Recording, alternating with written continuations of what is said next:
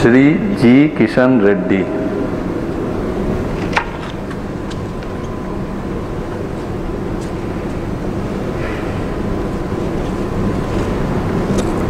मैं मैं गंगापुरम किशन रेड्डी, ईश्वर की शपथ लेता हूँ कि मैं विधि द्वारा स्थापित भारत के संविधान के प्रति सच्ची श्रद्धा और निष्ठा रखूँगा।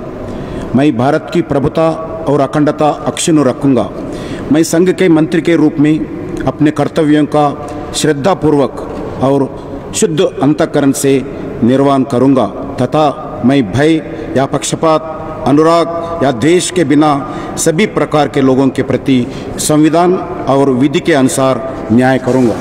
मैं मैं गंगापुरम किशन रेड्डी, ईश्वर की शपथ लेता हूँ कि जो विषय संघ के मंत्री के रूप में मेरे विचार के लिए लाया जाएगा अथवा मुझे ज्ञात होगा, उसे किसी व्यक्ति या व्यक्तियों को, तब की सिवाय, जबकि ऐसी मंत्री के रूप में अपने कर्तव्यों का सम्यक निर्वहन के लिए ऐसा करना अपेक्षित हो। मैं प्रत्यक्ष अथवा अप्रत्यक्ष रूप से संसूचित या प्रकट नहीं करूँगा।